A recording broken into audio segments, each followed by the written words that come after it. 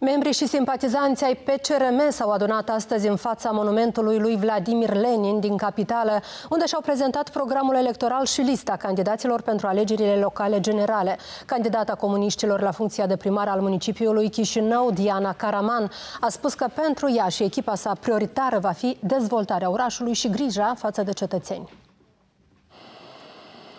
Deputatul Diana Caraman, candidat pe CRM pentru funcția de primar al capitalei, a spus că nu întâmplător a fost ales monumentul lui Lenin pentru startul campaniei electorale, întrucât, potrivit ei, este un simbol al dezvoltării și prosperării, deoarece poartă în sine rămășițele simbolurilor epocii glorioase de dinainte.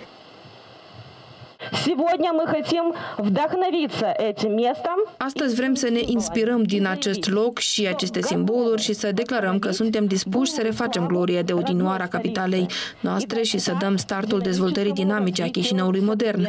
Cândva a fost mai bine cu Partidul Comuniștilor, cu ei va fi mai bine. Vreau să spun că acest slogan al nostru în campania electorală a fost dictat de voi, stimați cetățeni. Хочу сказать, что этот наш лозунг нашей предвыборной кампании продиктован вами, уважаемые граждане.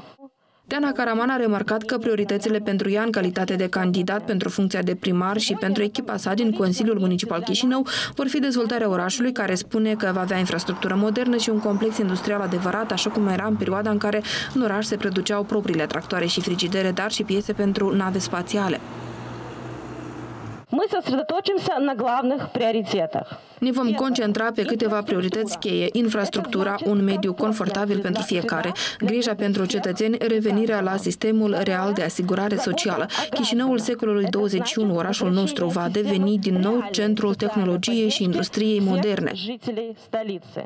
Candidații pe CRM pentru funcția de consilier la rândul lor au promis să depună toate eforturile ca să facă orașul confortabil pentru viață și în care oamenii să se simtă protejați.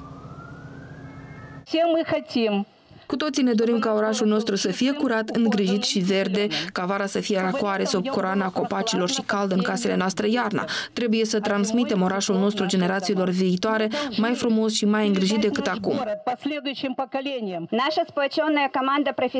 Echipa noastră unită de profesioniști va veni la dumneavoastră cu mecanisme pregătite pentru rezolvarea problemelor populației. Vom extinde programul de capital matern și sprijin pentru familiile tinere cu copii. Vom intensifica programul programul de asigurare cu locuințe accesibile pentru tinerii specialiști, familiile numeroase și cetățeni cu venituri mici.